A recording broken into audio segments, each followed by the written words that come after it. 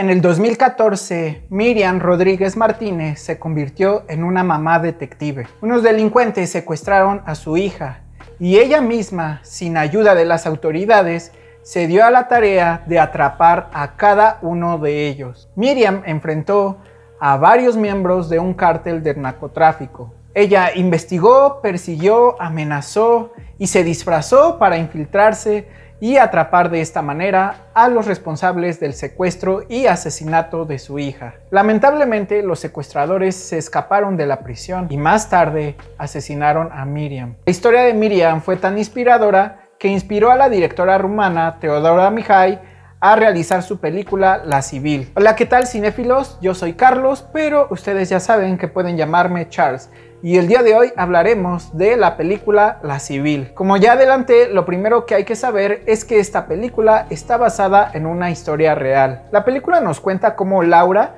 es secuestrada por el cártel del norte en México y su madre Cielo, que es la representación de Miriam, pues inicia su propia investigación para esclarecer la desaparición de su hija. En la vida real no fue Laura la que desapareció, fue una chica llamada Karen Alejandra Salinas Rodríguez, quien desapareció a sus 16 años en enero de 2014 en el municipio de San Fernando, Tamaulipas, donde ella vivía. Ella se encontraba a bordo de su vehículo cuando varios sujetos le bloquearon el paso y se la llevaron secuestrada. Posteriormente y después de cobrar varios rescates a cambio de su libertad, Karen fue asesinada. Y tanto en la película como en la vida real, la madre se dedicó a solo un objetivo, encontrar a los asesinos de su hija y llevarlos uno a uno tras las rejas. De hecho, en todo ese año de 2014, la madre se convirtió en una detective porque pasó de sus actividades cotidianas a armarse con una pistola, tarjeta de identificación falsas y varios disfraces. Se convirtió en una detective que desafió a un sistema en el que suele prevalecer la impunidad criminal. En la vida real, Miriam Rodríguez rastreó a los responsables del secuestro y asesinato de su hija, la mitad de ellos ya estaban en la cárcel, pero no porque las autoridades hubieran hecho su trabajo, sino porque ella lo siguió por su cuenta. De hecho, Miriam se hizo pasar por encuestadora, trabajadora de salud y hasta funcionaria electoral. Con todo ello consiguió los nombres y las direcciones, inventó excusas para conocer a las familias de estos sujetos y hasta se relacionó con las abuelas y los primos quienes les daban sin saber los más mínimos detalles de aquellos sujetos. Miriam conoció hasta los hábitos de estos hombres, sus amigos, sus ciudades de origen y hasta su niñez. Por ejemplo, sabía que antes de unirse al cártel de los Zetas e involucrarse en el secuestro de su hija, uno de los sujetos involucrados había vendido flores en la calle.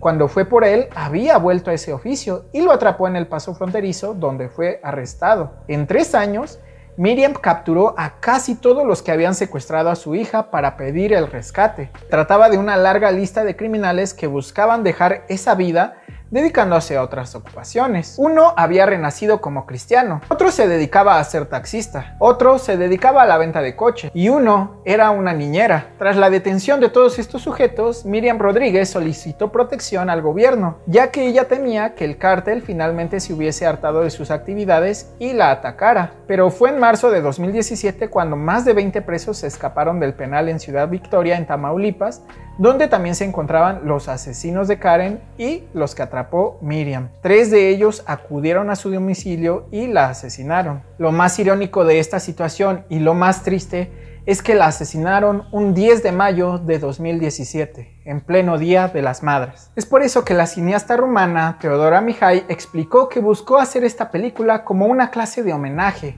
como una clase de recuerdo para que las personas sepan todo el esfuerzo que hizo Miriam en su vida. Pero, ¿qué tal está esta película? Vamos primero con lo bueno de esta cinta. Y debo decir que pese a que la directora es extranjera, exhibe de manera muy fiel la cotidianidad mexicana. Me refiero a que no se escapa de nada cada una de las costumbres que tenemos en México, desde la relación entre una madre y una hija hasta la relación que tienen los militares con los ciudadanos mexicanos. Me gustó mucho que se usaron de manera adecuada los regionalismos, así como cada una de las frases que se ocuparon en los diálogos de esta cinta. Si quizás tú no supieras que esta cinta estuvo dirigida por una cineasta extranjera, pues no lo notarías en realidad porque la película tiene una esencia mexicana. De principio a fin, la película se siente como un producto mexicano realmente porque no encontramos ningún resquicio o algún espacio que se sienta como un, cabo suelto en el que quizás tú digas, bueno, esto no es tan mexicano, ¿por qué no? Toda la película tiene una esencia, un aroma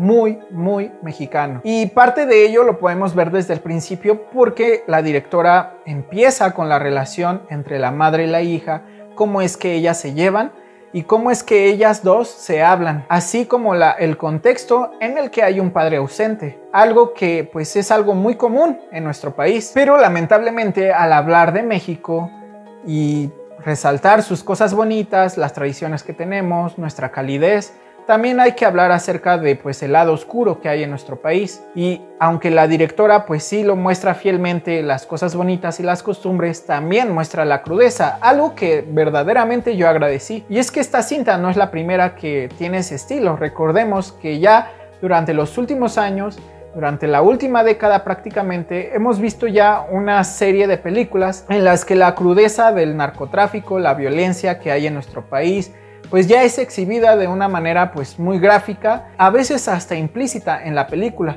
lo cual sí es lamentable, pero esta película es honesta al mostrarlo en su fidelidad, en su totalidad. Y sí, cinéfilos, es triste la situación por la que atraviesa México, la situación por la que atraviesan muchos pueblos, pero parte de estos materiales nos ayudan a entender a empatizar cuál es la situación por la que están atravesando muchos de los mexicanos, desde los llamados levantones hasta los cobros de piso que estos delincuentes hacen a varias personas que pues tienen un comercio en, en, esas zonas. También la corrupción que existe de parte de las autoridades, quienes muchas de las veces están coludidas con el crimen organizado y a veces también, pues, más que ser de una ayuda, pues se convierten en un obstáculo. Por eso es que la directora nos muestra de una forma muy concreta y con acciones y escenas muy concretas cómo este martirio de perder a, a una hija, de no saber qué es lo que pasa con ella o dónde está,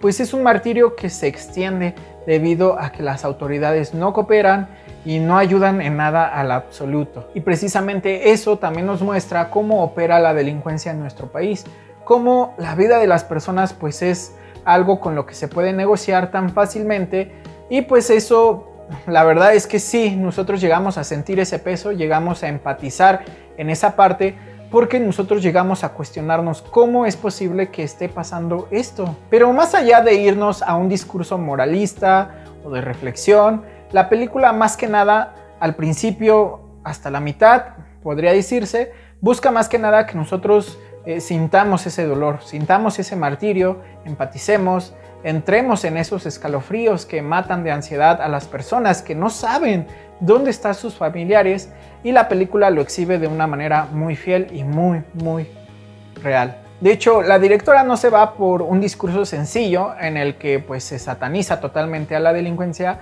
sino que también nos muestra cómo es que el crimen organizado y la corrupción llegan a afectar a distintos niveles de la sociedad. A veces hasta el señor de la tiendita está coludido con el crimen organizado, pero quizás no porque él lo quiera, sino porque está amenazado de muerte, porque su familia está amenazada de muerte, y pues las personas tienen que dar este derecho de piso. También me gustó que la película se siente como si la directora hubiera dado cierta libertad a sus actores para expresar todos sus regionalismos, para expresar pues su esencia como mexicanos, porque realmente en las actuaciones nosotros vemos varios guiños a lo que es nuestra, nuestro estilo, nuestro estilo mexicano. Y creo que una de las escenas que más me gustó, no voy a darle spoilers, claro que no, pero quiero resaltar mucho el papel de los militares, quienes se desarrollan con una fluidez en la que tú crees que verdaderamente ellos son militares por la forma en la que se expresan. Y por ese camino creo que la película también mm, imprime más que nada un sentido detectivesco. Muy pocas películas hoy en día de mexicanas pues ya abordan un estilo detectivesco y creo que esta película lo tiene al 100%. Y como no, si Miriam Rodríguez fue una madre que se convirtió en una detective, para buscar a todos los delincuentes que mataron a su hija. Y en esta película tenemos ese sentido detectivesco. Y me recordó mucho al personaje de Mike de la serie Breaking Bad o Better Call Saul, donde pues este personaje es un personaje callado, áspero, pero sobre todo inteligente y astuto, porque es un detective que tiene distintas, digamos, artimañas y estrategias para buscar a los delincuentes, para atraparlos, a veces para matarlos, interrogarlos.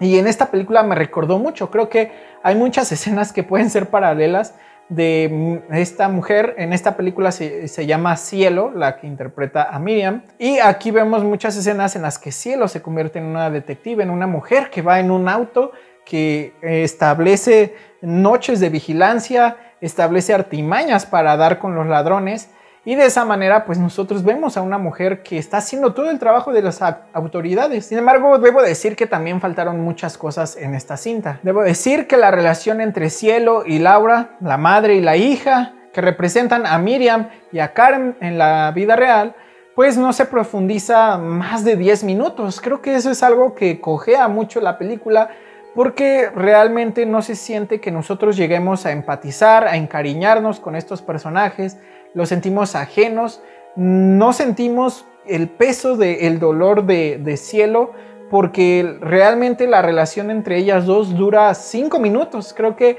la directora ahí pudo extender un poco más eh, esta parte. En mi parecer, pues creo que eso fue lo que faltó. La película en sí no es una película mala para mí, pero si hubiera que agregar eso, yo agregaría esa parte. Además de profundizar en esta relación, Creo que también las actuaciones al principio se sienten un poco tropezadas porque pues sí vemos que las acciones o las emociones que ellos demuestran pues no son tan creíbles. Creo que las sentí muy tropezadas en el sentido de que los diálogos estaban algo forzados porque no tenían cierta, mm, digamos, lógica con lo que estaba pasando. Y creo que si ustedes ven la película, quizás lo van a sentir al principio un poco extraño, un poquito fuera de lugar, no es que pierda el estilo mexicano, como lo dije al principio, pero sí se siente un poco tropezado, un poco inverosímil los diálogos de esta cinta al principio. Y también debo decir que faltó mucho material de lo que pasó realmente en la vida real con Miriam, porque ella hizo un esfuerzo gigantesco de verdad para atrapar a estos sujetos, realizó muchas acciones en las que pues ella fue por cada uno de, de los sujetos que secuestró y asesinó a su hija y se en la vida real ella se disfrazó hasta de funcionaria electoral, de trabajadora eh, de la salud, de encuestadora y eso aquí en esta película no se representa al 100%, se representa con algunas escenas de acción, pero realmente creo que faltó ahí hacerle un poquito más de justicia a Miriam y a todos sus esfuerzos. Fuera de eso, el final me pareció muy, muy representativo, muy metafórico. Te quedas pensando y, sabes que, que es, la película se siente como un homenaje, no se siente como una película morbo que busca exhibir la violencia y, destacar qué es lo que pasó en el caso. No se siente como algo así, se siente más como un homenaje, una como una despedida, diría yo. Y creo que eso también me agradó. Con esto es que concluyo mi recomendación. Yo le daría cuatro estrellas y media. Creo que es una de las películas que más he recomendado en, apenas en lo que llevo de mi canal. Porque realmente me gustó la película en su estilo mexicano. Yo la siento como una película mexicana y de verdad se las recomiendo. Si son mexicanos tienen que verla, por favor, tienen que conocer este caso. Si no son mexicanos, por favor también véanla. Eh, reflexionen acerca de lo que está pasando en estos tiempos y cómo esta mujer, Miriam, en la película llamada Cielo, pues fue una mujer que fue más allá, más allá de sus esfuerzos al darlo todo y cómo eso ha inspirado a muchas personas. bueno, esta fue mi recomendación, cinéfilos. Les pido que se suscriban a mi canal, que dejen en los comentarios si ya vieron esta película, qué otra película mexicana les ha gustado. A mí una que me ha gustado mucho es una que se llama Sin Señas Particulares, la vi hace no mucho la amé, me encantó. Este, pero bueno, déjenme sus recomendaciones, suscríbanse por favor y no olviden que no todo el cine comercial es malo y no todo el cine de arte es bueno.